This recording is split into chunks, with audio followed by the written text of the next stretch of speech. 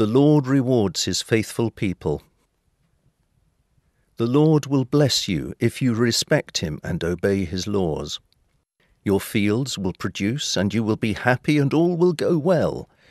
Your wife will be as fruitful as a grapevine, and just as an olive tree is rich with olives, your home will be rich with healthy children. That is how the Lord will bless everyone who respects him. I pray that the Lord will bless you from Zion and let Jerusalem prosper as long as you live. May you live long enough to see your grandchildren.